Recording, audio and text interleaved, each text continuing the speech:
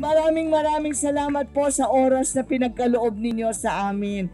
Natutuwa po, nagagalak ang pamilya namin na nandito kami ngayon sa kaarawan po ni Kiefer, ang aking manugang asawa po ni Katie.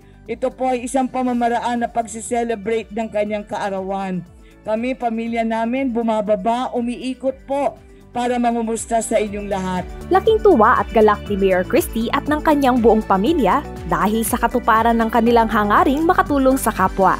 Bilang bahagi ng selebrasyon ng kaarawan ni Kiefer Go na asawa ng kanyang pangalawang anak na si Katie Angeles Go. Gusto ko po i-celebrate yung kaarawan ko po na kasama kayo para makapamahagi po ng konting tulong galing po sa may kapal. At syempre, wish ko lang naman ng birthday ko is sana maging healthy tayong lahat. Sana malagpasan natin tong ulos na to.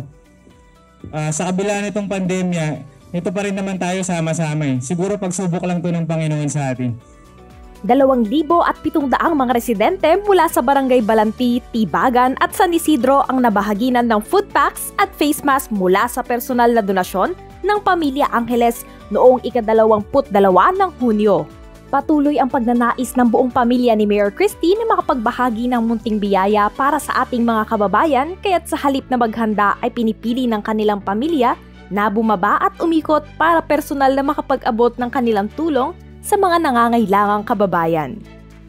Humigit kumulang 10,000 na ang personal na naabotan ng food packs at mask ng pamilya ni Mayor Christie na sinimulan noong ika-6 ng Hunyo 2021.